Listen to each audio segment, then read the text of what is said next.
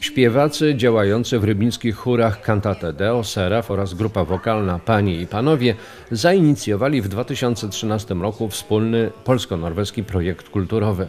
Pomysł tego przedsięwzięcia powstał w oryginalnych okolicznościach. Dyrygent chóru, wokalistka zespołu Panie i Panowie w jednej osobie, Aleksandra Orzechowska-Niedziela wyjechała do norweskiego Stavanger w poszukiwaniu odpoczynku, inspiracji, a także nowych wyzwań. W pierwszym dniu pobytu wybrała się na koncert do Stavanger, koncert Huset. Po występie podeszła do jednego z artystów, którym był Jon Gunnar Akere. Gratulując występu, zostawiła nagrania zespołu Panie i Panowie, oferując nawiązanie współpracy. Powiedziałam mu, to jest moja grupa PIP i chętnie y, dam się zaprosić na jakąś wspólną przygodę polsko-norweską. I on powiedział, o fajnie, możemy zrobić taką wymianę. Ale brzmiało to dla mnie tak, jakby po prostu już nic nie miało się więcej zdarzyć. Natomiast Jon poszedł do domu i najwyraźniej wysłuchał tej płyty jeszcze tego samego dnia, do mnie zadzwonił, że musimy absolutnie się spotkać następnego dnia w kawiarni i wszystko omówić, bo on wyjeżdża na wakacje, a chce jeszcze przed wakacjami się ze mną spotkać. I spotkali się przy kawie i właściwie już wtedy omówili całe przedsięwzięcie. Efektem zawiązanej współpracy był wyjazd oraz koncerty polskich chórzystów do Stavanger w grudniu 2013. Było wspaniale. Było wspaniale i to była niesamowita przygoda w ogóle wsadzić 40 osób do samolotu i y, przelecieć z nimi do Norwegii. Niektórzy lecieli po raz pierwszy w ogóle. Było 8 osób, które leciały po raz pierwszy i dla nich to była w ogóle wspaniała przygoda. I prawie wszyscy lecieli do Norwegii w ogóle y, po raz pierwszy cokolwiek tam oglądać. A y, koncertowaliśmy tam w dwóch kościołach. Ta, ta przygoda była krótka. Ona trwała 4 dni, ale była tak intensywna, że my zdążyliśmy zobaczyć e, koniec tego e, fiordu, czyli wybrzeże, przy którym samo Stavanger się mieści. Zobaczyliśmy Stare Miasto, które jest przepiękne i zobaczyliśmy również e, trzy różne muzea. I dzięki, dzięki tej wycieczce również zaprzyjaźniliśmy się z nimi. Przede wszystkim te relacje się e, zdążyły e, tak zawiązać, że jak już przylecieli tutaj, to witaliśmy się uściskami, głębokimi uściskami. Oni się nie mogli doczekać rewizyty ich tutaj. W ramach wizyty Norwegów w Polsce w styczniu 2014 roku zorganizowano dwa koncerty. Pierwszy z nich odbył się w Centrum Kulturalno-Edukacyjnym w Czerwionce-Leszczynach. To było dla artystów, ale także dla publiczności wspaniałe doświadczenie.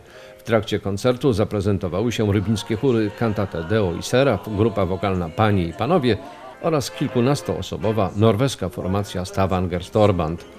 Na program wieczoru złożyły się tradycyjne polskie i norweskie kolendy oraz pastorałki.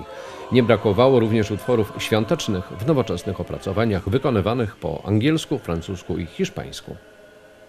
Koncert spotkał się z gorącym przyjęciem ze strony publiczności. Ten sam program zaprezentowano również w Rybniku w kościele pod wezwaniem świętej Jadwigi na osiedlu Nowiny. Publiczność szczelnie wypełniła świątynię. Przez ponad półtorej godziny w kościele rozbrzmiewały kolendy i pastorałki z różnych części Europy.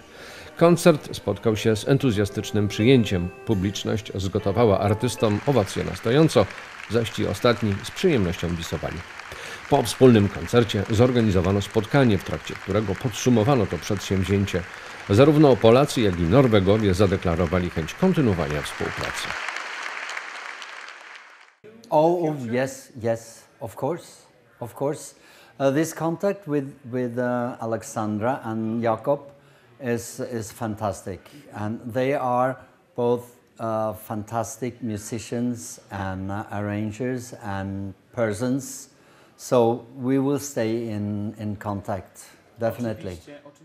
Przygotowanie koncertów było sporym wyzwaniem. Nieoceniony okazał się internet, za pomocą którego komunikowano się, przesyłano nuty i ustalano wszystkie szczegóły. Wspólne występy zrobiły na gościach ogromne wrażenie. Um, from the concerts, that's just uh, an amazing thing.